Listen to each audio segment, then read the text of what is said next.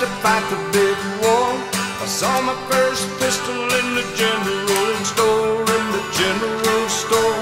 Well, I was 13. I thought it was the finest thing I ever had seen. So I asked if I could have one someday when I grew up. Mama dropped a dozen eggs. She really blew up. Yes, she really blew up.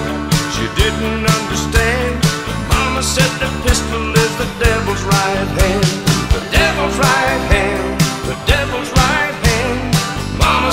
Pistol is the devil's right hand.